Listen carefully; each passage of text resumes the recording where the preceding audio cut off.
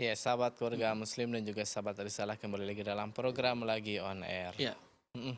Dan kita mengajak sahabat keluarga muslim dan juga sahabat risalah yang bertanya di kesempatan kali ini boleh menghubungi kita di 06179442282 ya. Ya, atau juga di 085271153456. Mm-mm. Ada, Ada penelpon? penelpon, kita akan angkat. Halo, Halo, assalamualaikum. assalamualaikum. Ha- Halo, Ya, halo, assalamualaikum. Adakah orangnya? Halo, Ada. assalamualaikum. Terputus. Oke ya, Kita bisa diulangi lagi nih nanti nih ya, Betul sahabat ya. keluarga muslim dan juga sahabat risalah yang ingin bertanya. Baik Ustadz, Ya. mengenai zakat nih, kita ke tentang eh, fadilah ya, Betul. keutamaan. karena tadi sudah ada eh, apa pengertiannya ya. Betul. Terus ada eh, hukum-hukumnya. Ini perlu juga kita Betul. ketahui karena sebagian orang mungkin menganggap harta kita Betul. yang kerja capek Kok harus dibagi ke orang, harus kan dibagi gitu ke ya? orang gitu, harus dikeluarkan. Iya. Nah ini kira-kira apa saja nih Ustadz tentang keutamaan zakat nih Ustadz? Ya, eh, fawaid atau eh, fadail daripada zakat itu Mm-mm. tentunya banyak sekali ya. Dan di sini disebutkan ada paling tidak 8 poin keutamaan dari orang-orang yang membayarkan zakat. Dan sangat perlu sekali kita ketahui ya, karena orang-orang yang dengan mengetahui keutamaan fadail, fawaid Ya. dari di, apa yang dia kerjakan itu akan lebih semangat biasanya. Masya Betul Allah. betul. Ada betul. penelpon Ustaz? Baik Ustadz. Kita angkat terlebih dahulu. Ustaz. Halo, assalamualaikum. Waalaikumsalam warahmatullahi wabarakatuh, Ustaz. Ya, dengan siapa dan di mana? Aisyah Ustaz, di Kerap Baik, Lagi. hmm, silakan Silahkan pertanyaannya. pertanyaannya singkat ya. Ustaz. Assalamualaikum warahmatullahi wabarakatuh, Ustaz. Waalaikumsalam warahmatullahi wabarakatuh. Anak mau bertanya tentang ini, Ustaz. Eh, pembagian zakat ini, Ustaz ya.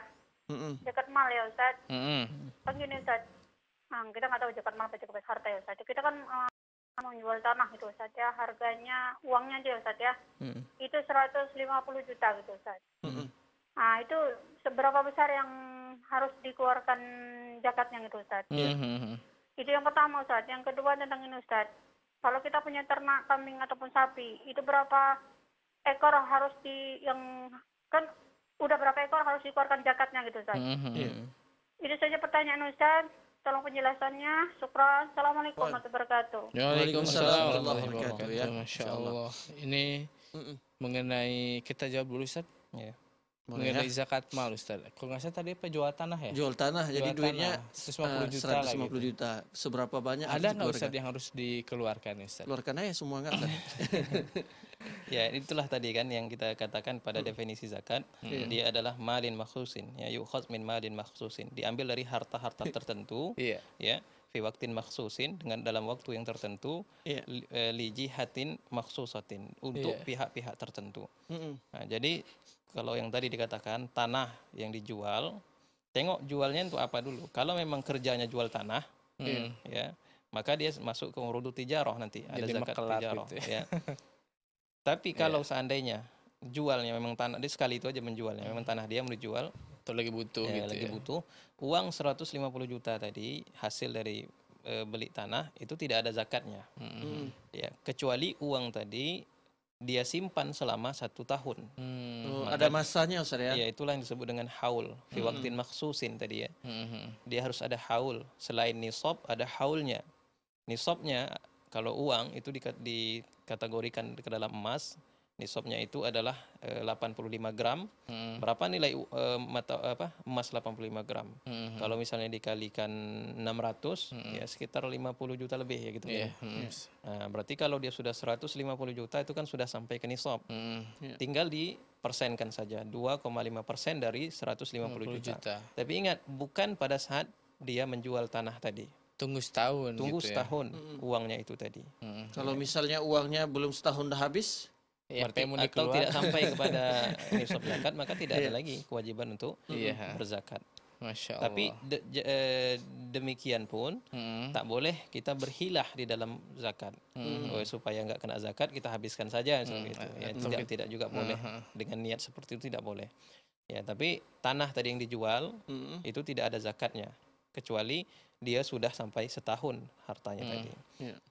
Karena tanah itu sendiri, misalnya kita punya tanah bertahun-tahun itu tidak ada zakatnya, Mhm. walaupun harganya miliaran. Mhm. Tanah itu tidak ada zakatnya, karena dia tidak masuk ke dalam kategori harta yang terkena Wajib ya, zakat, hmm. yang terkena wajib zakat gitu. Beda kalau emas. Emas misalnya 85 gram kita simpan setahun, Iya. ya walaupun lebih mahal tanah tadi, emas tadi tetap kena zakatnya Zakatnya. begitu. Jadi dia tidak bisa zakat ini adalah perkara syar'i yang sudah ada eh, ketentuan-ketentuan dari Allah Subhanahu wa taala. Iya. Ya, sehingga tidak bisa dikias-kiaskan. Oh, ini kan lebih kaya orang yang punya banyak tanah daripada Mhm, orang yang punya 85 gram Emas, emas, ya. itu. Tidak bisa seperti itu. Iya. Ada juga orang yang punya emas 85 gram, ada orang yang punya intan berlian.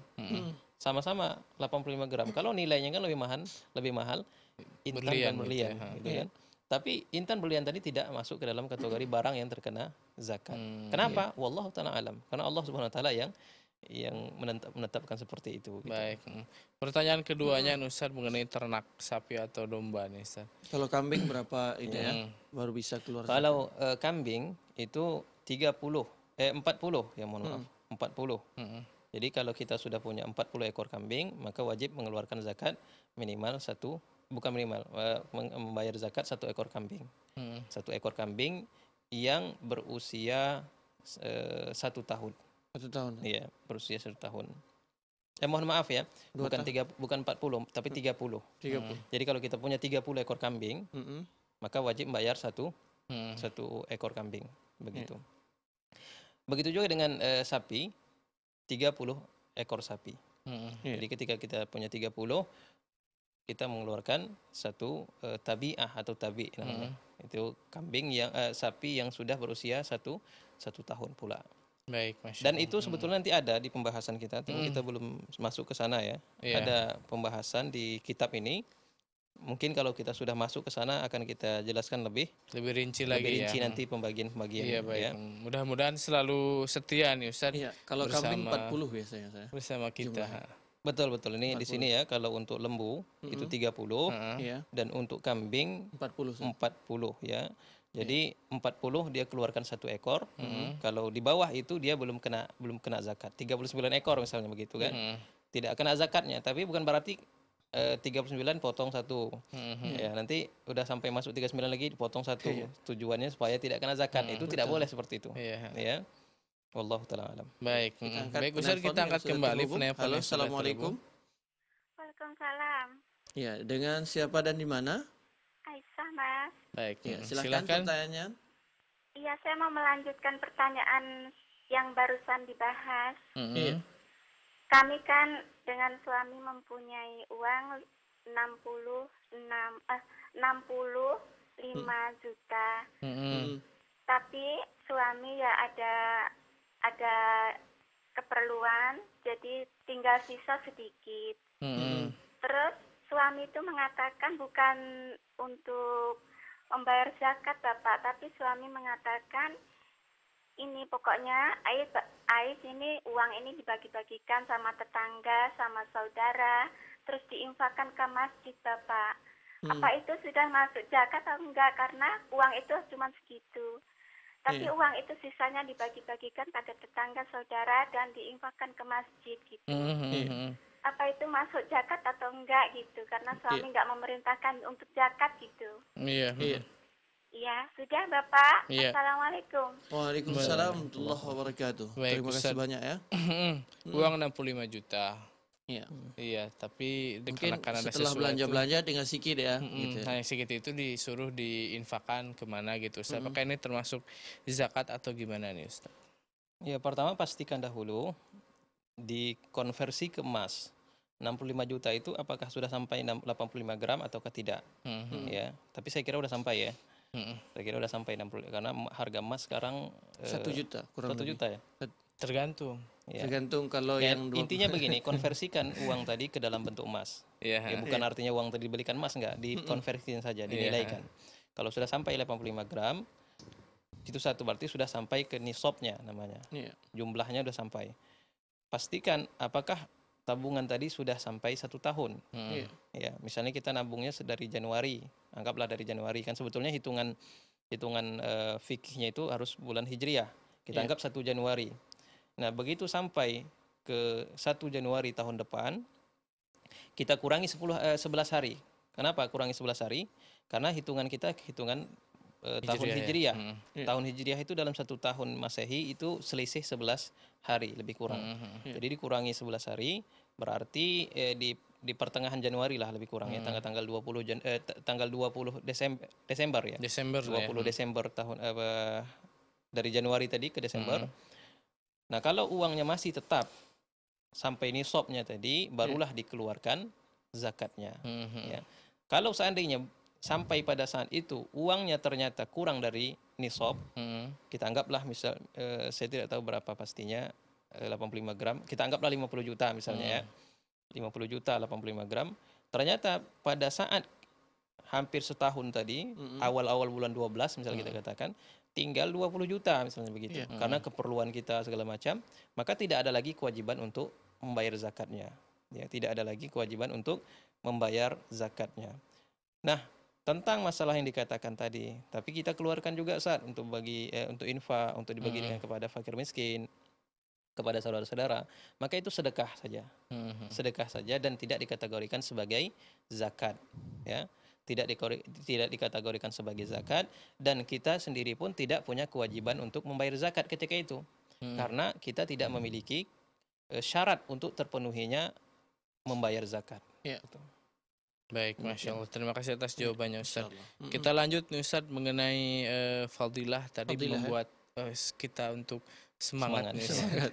masya Allah ya Mm-mm. Jadi fadail di antara fadail eh, orang-orang yang bayar zakat itu pertama orang yang membayar zakat itu dikategorikan oleh Allah Subhanahu wa taala dimasukkan ke dalam sifat-sifat al-abrar, orang-orang yang baik, Hmm. ya, orang-orang yang memiliki jiwa-jiwa kebaikan wa ashabul jannah dan eh, penduduk-penduduk surga.